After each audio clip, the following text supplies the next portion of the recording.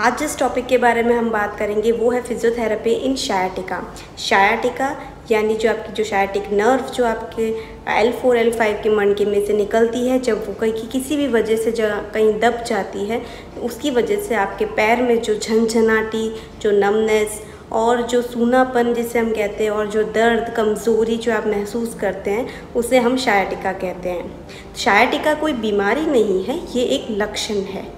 तो मैं इस वीडियो में कुछ बेस्ट एक्सरसाइजेस और कुछ बेस्ट स्ट्रेचेस लेके आई हूँ, जिससे आपको आपके शायाटिका के, जो पेन है, उससे आपको निजात पाने में मदद मिलेगी। तो ये वीडियो आप अंत तक ज़रूर देखिएगा और इस वीडियो के अंत में मैं आपको कुछ टिप्स बताऊँगी, जिससे आपको आपके शायाटिका के पेन में रिलीफ जल्दी मिलने में मदद मिलेगी। तो चलिए हम अपनी एक्सरसाइजेस की तरफ़ बढ़ते हैं। सपोज़ मेरा लेफ़्ट वाला जो पैर है, उसमें शायाटिका की तकलीफ़ है तो सबसे पहले मैं जो एक्सरसाइज करूँगी, उसमें मुझे इस तरह से पैर पकड़ना रहेगा, अपने घुटने के जो नीचे से, और फिर इस तरह से पैर सीधा करना है। इस स्ट्रेच करने से जो है आपकी शायाटिका जो नर्व है, वो खींचेगी और आपको फिर इस तरह से पंजा ऊपर नीचे, पंजा ऊपर नीचे वाली एक्सरसाइज करनी रहेगी। दूसरा जो स्ट्रेच अब हम करेंगे, उसमें जो है आपकी शायटिक नर्व है, वो यहाँ से इस तरह से पास होती है। तो आपको इस तरह से पोजिशन रख के उसको ऐसे स्ट्रेच करना है। यहाँ से आप पंजे को इस तरह से अपनी तरफ़ खींच सकते हैं। और उसे इस तरह से स्ट्रेच करना है। इसलिए अब हम एक्सरसाइज की तरफ़ बढ़ते हैं। वो है पाइनी फॉर्म स्ट्रेच इसके लिए आपको जैसे मेरा यही वाला पैर अफेक्टेड है तो इस पैर को मुझे इस तरह से रख के इसको फिगर ऑफ़ फोर में लेके और इस तरह से स्ट्रेच करना रहेगा।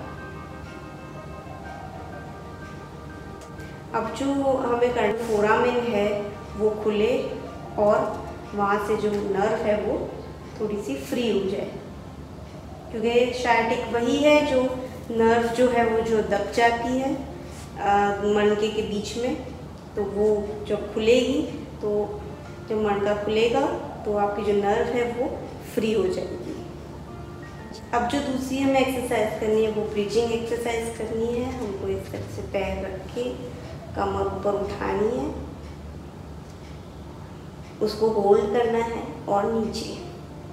ये आपके हैमस्ट्रिंग मसल्स ग्लूटियस मसल्स पे अच्छा वर्क करती है। इससे भी आपको बहुत रिलीफ मिलेगा। पहले उसमें हमको इस तरह से हमारा जो घुटना है, वो इस तरह से हमें अपनी छाती की तरफ़ खींचना है। और जिन लोगों को घुटने की तकलीफ़ है, जिन लोगों को भी घुटने कि अर्थराइटिस है, उसकी तकलीफ़ है तो वो इस तरह से ना पकड़े, वो अपना हाथ जो नीचे से पकड़ के फिर खींचे। इसे भी लगभग आप जो है पंद्रह से बीस सेकेंड तक होल्ड करिए और जो हमें एक्सरसाइज करनी है वो है। आपको इस तरह से पोजीशन ले लेनी है और अपनी कमर से ये जो आपका जो एल्बो है, वो आपके शोल्डर के नीचे आए और उससे आपको स्ट्रेच करना है।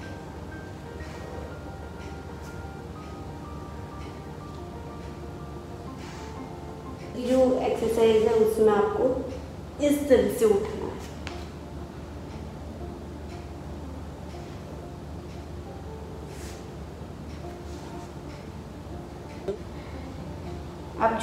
एक्सरसाइज करेंगे, उसमें आपको इस तरह से पोजीशन ले लेनी है, दोनों हाथों पे और दोनों घुटनों पे। और जो आपका जो ये जो पार्ट है कमर का, उसको आपको इस तरह से अंदर करना है और ऊपर करना है।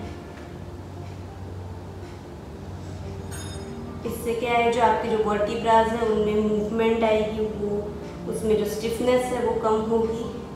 और जो आपकी जो शायटिक नर्व है, उसको फ्री होने में मदद मिलेगी।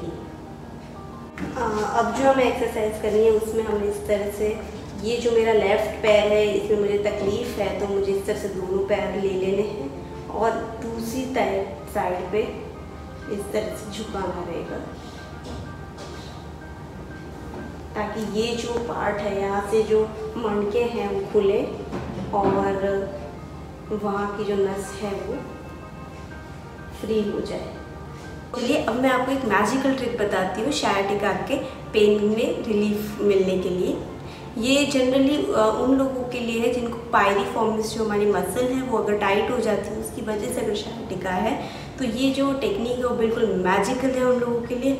आपको बहुत अच्छा रिलीफ मिलेगा। तो इसके लिए आपको इस तरह से टेनिस बॉल ले लेनी है और आपकी जो यहाँ जो पार्ट है, उस पर जहाँ से ये नस निकलती है, ये जो पार्ट है, वहाँ आपको इस तरह से बॉल रख लेनी है, जो बहुत सेंसिटिव पार्ट है, जहाँ एक्चुअली आपको बहुत ज़्यादा पेन होगा तो वहाँ आपको इस तरह से रख देनी है और फिर उसके ऊपर आपको इस तरह से रूल करना रहेगा। ध्यान रखिए कि जब आप ये करेंगे तो उसमें आपको पेन होगा, थोड़ा सा आपको अनकंफर्टेबल लगेगा तो वो इस अच्छा है, इसका मतलब वो टेक्निक आप पे वर्क कर रही है। लगभग आपको 30 सेकंड्स के लिए करना रहेगा और ऐसा आप दो सेट्स कर सकते हैं इस तरह से। फिर आपको इस तरह से अपना पैर लेके और इस तरह से नीचे छुप के स्ट्रेच करना है। तो पहले आपको बॉल से आपको जो एरिया है, वहाँ पर आपको मसल है, उसको रिलीज़ करना है और फिर आपको इस तरह से स्ट्रेच करना है। तो ये टेक्निक बहुत अच्छी है, आप इसे ज़रूर ट्राई करिएगा। और अगर आपको ये वीडियो जो है वो पसंद आया हो कुछ भी आपको इसमें बेनिफिशियल लगा हो तो इसे लाइक ज़रूर करिएगा कमेंट करिएगा और सब्सक्राइब करिएगा। और जिन लोगों को ये तकलीफ़ है, उनके साथ शेयर ज़रूर करिएगा। Thank you and take care